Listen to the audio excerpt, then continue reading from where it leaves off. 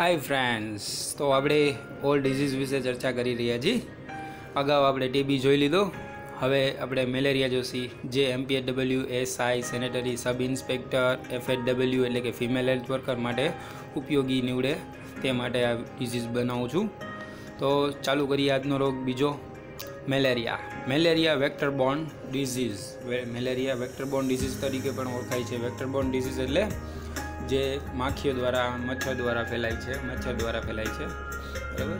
અને રોગનો એજન્ટ કોણ છે? તો કે plasmodium vivax plasmodium falciparum plasmodium malariae, plasmodium ovale, જે માદા એડો એનોફિલિસ મચ્છર દ્વારા ફેલાય છે. બરાબર? હવે સૌથી વધારે આમાં જોઈએ તો મેલેરી અતિ ઝેરી મેલેરિયા તરીકે ઓળખાય છે મેલેરી. અને ઓવેલ તો આપણા ઇન્ડિયામાં દેખાતા જ નથી. બરાબર? હવે રોગનું યજમાન કોણ છે? એ દરેક ઉંમરના લોકો, પરંતુ સ્ત્રીઓ કરતાં પુરુષોમાં વધારે જોવા મળે છે. શું કામ પુરુષોમાં જોવા મળે છે? કેમ કે પુરુષો મોટે ભાગે બારે ફરતા હોય છે, જેથી એને ચેપનો મચ્છર ગળવાનું વધારે રહે છે. તેના કારણે બીજું કોઈ ખાસ એવું અંગત કારણ નથી. બસ એ જ છે કે સ્ત્રીઓ ઘરે જ હોય છે, એટલે મચ્છરોથી ઓછો ત્રાસ હોય છે. પુરુષો જ્યાં ત્યાં ફરતા હોય છે, એટલા માટે. ઓકે?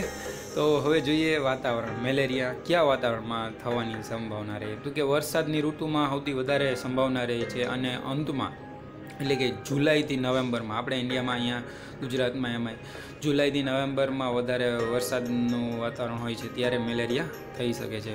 હવે ઉદ્ભવન અવધિ ઉદ્ભવ ક્યારે મેલેરિયાની ઉદ્ભવન અવધિ શું છે? તો કે સામાન્ય દસ દિવસમાં જોવા મળે છે. સામાન્ય જે મેલેરિયા છે, એ દસ દિવસમાં જ હોય છે.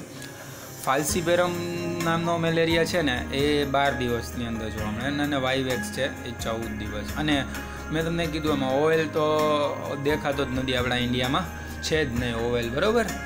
તો હવે આપણે જોઈએ નેક્સ્ટ હવે મેલેરિયાના ચિહ્નો અને લક્ષણો. કેમ ખબર પડે કે આ ભાઈને મેલેરિયા થઈ ગયો છે?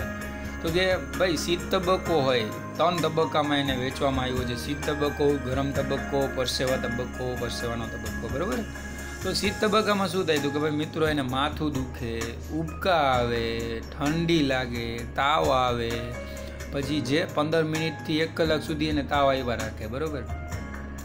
તો પછી ગરમ તબક્કો હતો કે શું હતું? તાવ સાથે માથાનો દુખાવો થાય. આઠથી છ કલાક સુધી સતત તાવ, માથું દુખે એટલે ગરમ તબક્કો થાય. પછી પરસેવો આવે. ખૂબ જ પરસેવો વળી અને તાવ ઉતરી જાય છે. આ પરિસ્થિતિ બેથી ચાર કલાકમાં જ થઈ જાય છે. એટલે આવું થાય એટલે ભાઈને સમજી લેવાનું કે આને મેલેરિયા થઈ ગયો છે ભાઈને, બરાબર? પછી એનું નિદાન કઈ રીતે કરશું? તો કે આપણે લોહીના નમૂનાને સ્લાઇડ ઉપર બનાવી અને તેનું પરીક્ષણ કરવાથી એનું નિદાન કરી શકાય છે મેલેરિયાનું. હવે રોગની સારવાર શું છે? તો કે રોગની સારવાર છે ક્લોરોક્વિનની સંભવિત સારવાર. ક્લોરોક્વિન ને પ્રિમાક્વિન એવું તમે સાંભળેલું જ હશે. બરાબર? આગળ વાંચેલું હશે તો. આ બે એની ગોળી આવે છે ક્લોરોગ્રીમ અને પ્રિમાક્વિન એની સારવાર હોય છે. અને ગુજરાત સરકાર દ્વારા અને ભારત સરકાર દ્વારા રાષ્ટ્રીય મેલેરિયા દિન પછી એવા રોગ જાહેર કર્યું હતું. જે આપણે વાંચેલું જ હશે. બરાબર? હવે આગળ જોઈએ નેક્સ્ટ રોગની અટકાયત. હા, મેલેરિયાની અટકાયત કઈ રીતે કરશું? કે મચ્છરથી સ્વ બચાવ. કે આ મચ્છરની સ્વ બચાવ એટલે કે આ ભાઈ મચ્છરથી એને સંબંધિત ઓલી અગરબત્તી કરવી, પછી ઘરની નજીક ખાડા છે, એવા બધું પૂરણ કરવું વગેરે.